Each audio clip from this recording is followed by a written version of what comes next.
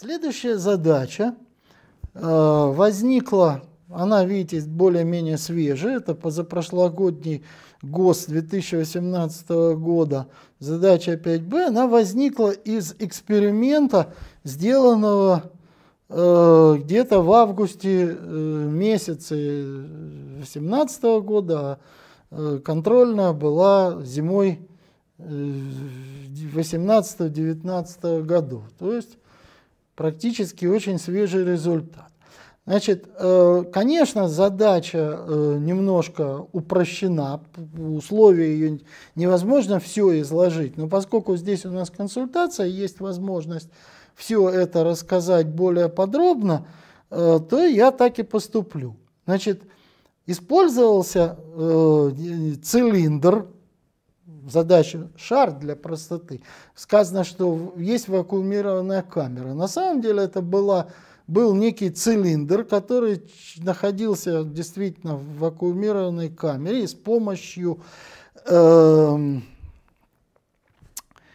э, а через окошко прозрачное он импульсом лазера нагревался до температуры примерно 450 кельвинов, а в вакуумированной полости, кроме Э, вот этого цилиндра, которые нагревались, находились замедленные до температуры несколько нанокельвинов так называемые охлажденные атомы. То есть это можно было считать практически неподвижные атомы цезия. Вот.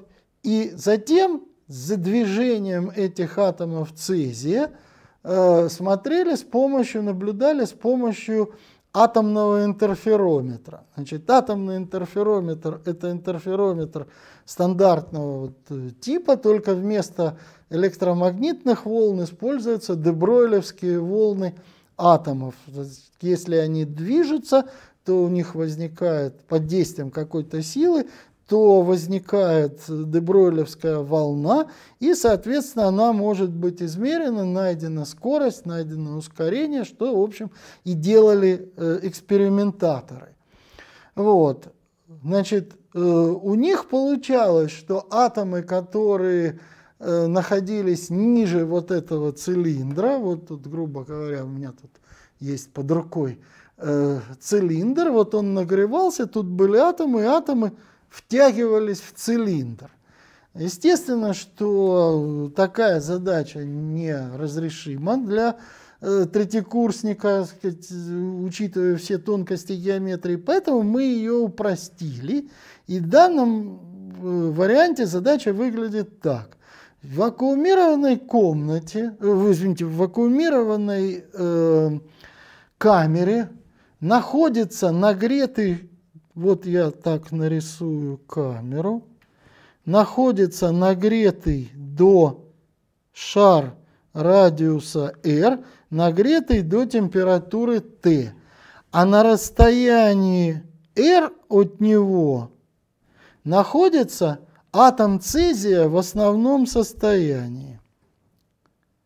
Можно считать, что этот атом покоится. Э, Известна поляризуемость атома цезия в основном состоянии в области э, инфракрасного излучения. Значит, э, почему тут сказано инфракрасное? Потому что температура 450 кельвинов, значит, это соответствует инфракрасному диапазону, но все вы хорошо знаете, что вот э, если вы смотрите всяческие фильмы, боевики, где там ночью э, сказать, происходят какие-то боевые действия, то используются инфракрасные детекторы для движения. Человек излучает примерно соответствие, как абсолютно черное тело э, при температуре, значит, э, там около 310 кельвинов, э, это соответствует инфракрасному диапазону. Ну, 450 можно тоже считать, что это ИК-диапазон. Нужно найти величину и направление силы, действующей на атом. Значит, пренебречь всяческими силами тяжести и силами радиационного давления. Ну, это мы немножко прокомментируем в конце. температуру стенок камеры считать пренебрежимо малой по сравнению с температурой э, вот этого шара. Значит, первый вопрос, почему вообще действует сила?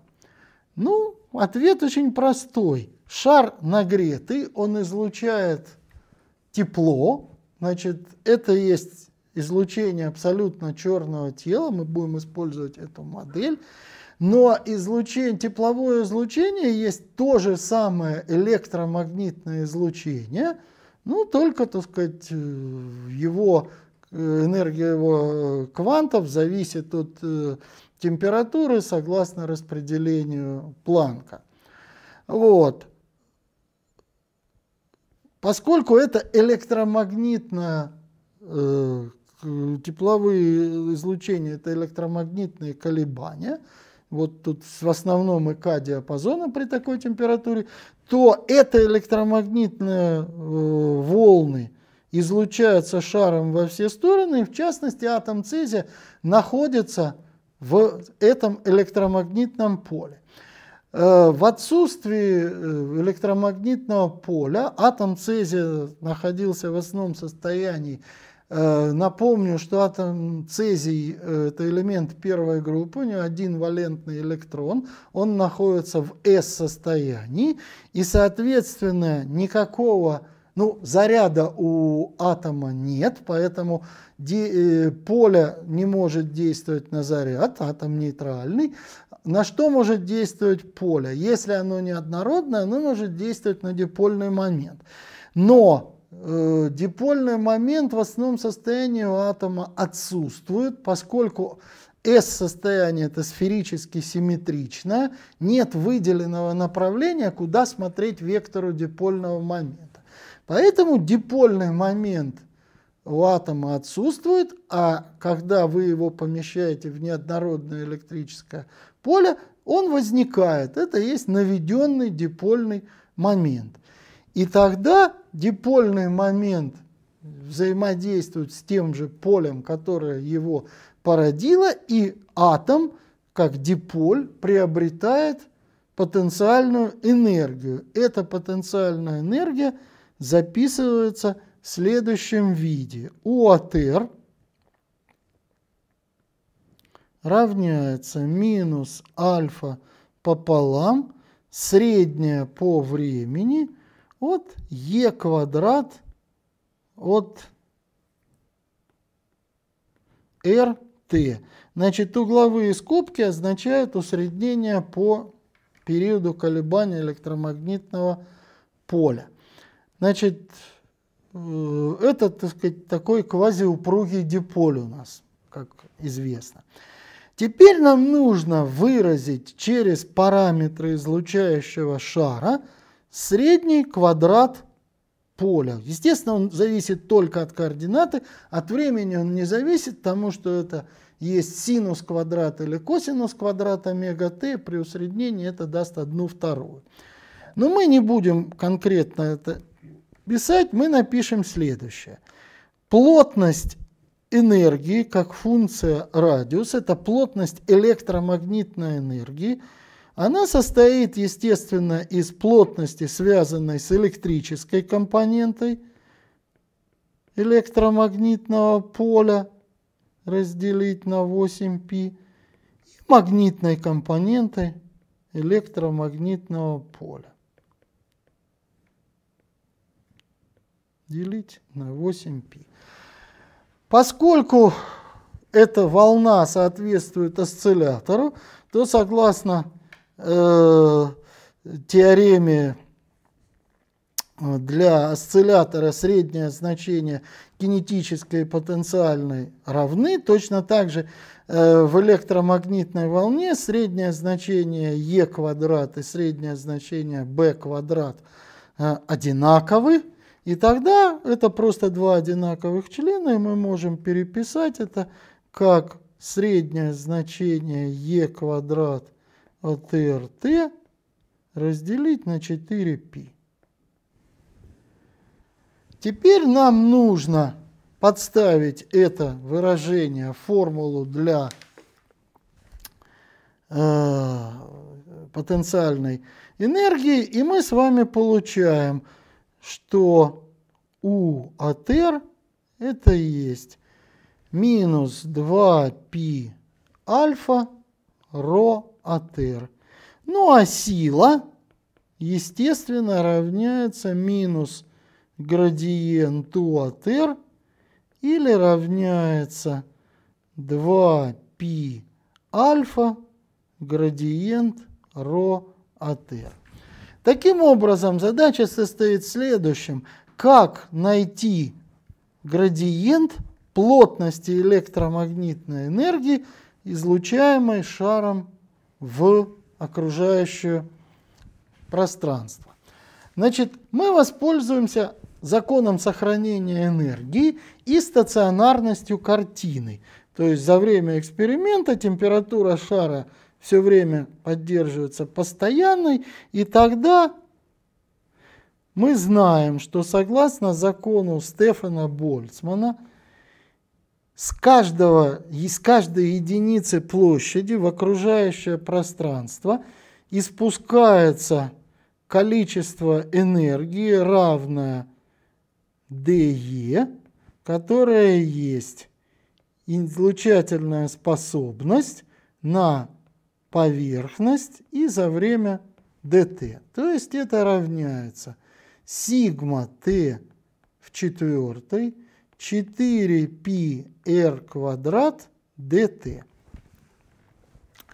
Значит, теперь проведем сферу на расстоянии r и посмотрим.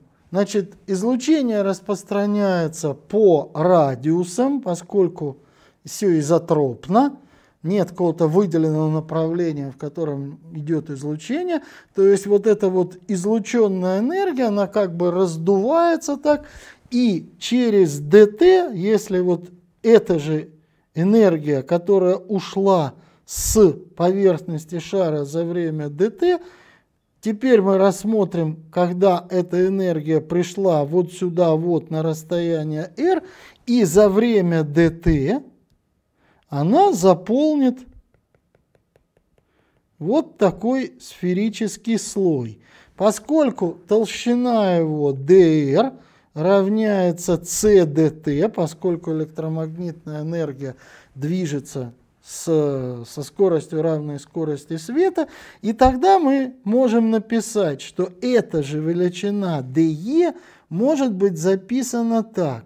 ρ от r на dv где dv это объем шарового слоя, или это равняется ρ от r 4 π r квадрат dr или ρ от r 4 π r квадрат c dt. Теперь надо приравнять вот эту величину вот этой величиной. dt Э, выпадает. Вот 4π тоже выпадает, и мы получаем, что плотность ρ от r это и есть сигма t в четвертой разделить на c r квадрат на r квадрат. То есть мы получили стандартный закон убывания плотности энергии вот, э, по закону обратных квадратов. Ну, если мы умножим с вами плотность энергии на скорость света, мы получим вектор Пойнтинга, то есть мощность, которая излучается э, с шаром. И таким образом, естественно, что получился закон единица на r квадрат. Теперь нам нужно найти силу. Для этого нужно подставить в уравнение. Найдем э, силу, это вектор. Вот. Это будет равняться, я напомню, у нас там формула э, 2π альфа градиент ρ. Это будет равняться минус 2 π альфа сигма t в четвертой, r в четвертой на c. Вот. А здесь нужно взять э, производную единица на r квадрат. Тогда это будет э, единица 2 делить на r куб и на единичный вектор вдоль радиус вектора r. Вы видите, что сила направлена против нормали. Это означает, что атом притягивается к шару.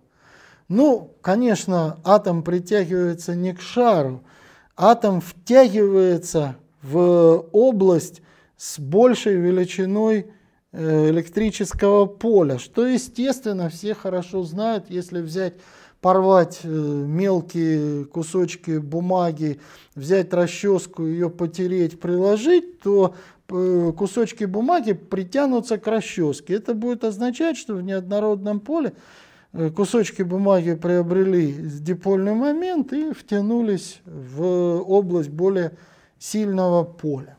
Значит, представляет интерес нахождение величины силы, ну, модуля.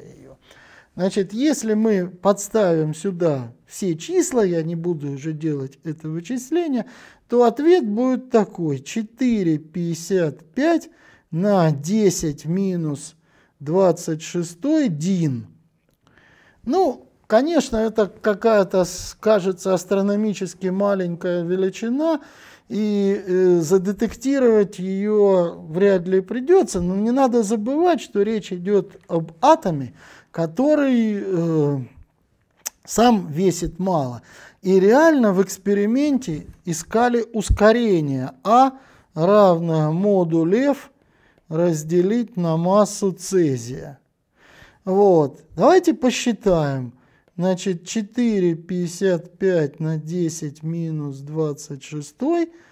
Цезий атомный вес 133 на 1,67 на 10 минус 24.